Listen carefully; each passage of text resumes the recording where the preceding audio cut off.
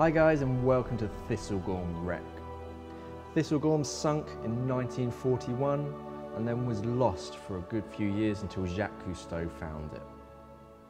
The Thistlegorm was a transport ship transporting valuable equipment towards the British soldiers up fighting in the Mediterranean, but she was sunk by a German bomber while she was moored up at night.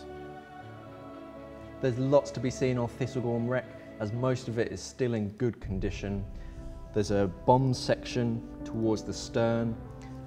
The forward section up towards the bow is all complete, but the stern section is mostly um, lost, except the very stern where you can, can see two anti-aircraft guns. There can be some strong current on Thistlegorm because it sits in the middle of the Red Sea, so you can get current running in either direction so if you're confident in current, you can swim on the outside and see all of the chains. You can even see the anchor because Thistlegorm was sunk whilst it was anchored up. You can see the anchor chain on the bow that leads all the way down to the sea bottom. If you swim away from her port side, you can see one of the locomotive trains that was on top of Thistlegorm but was blown about 100 metres off during the explosion. There are plenty of entry and exit points in Thistlegorm and lots to explore inside.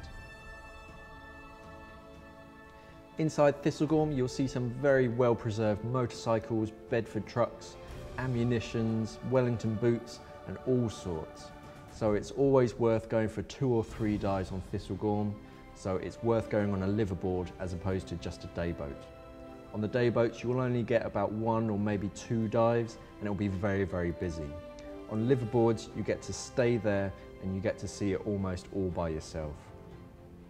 Inside the wreck, there isn't always the greatest amount of space, so if you're not too confident with confined spaces or your buoyancy isn't too good, you can just stay to the outside.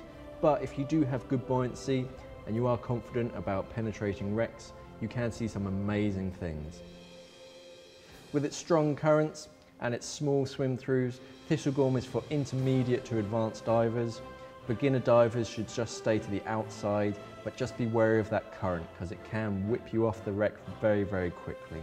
You're going to be going up and down mooring lines, so hold on nice and tight and follow your guide.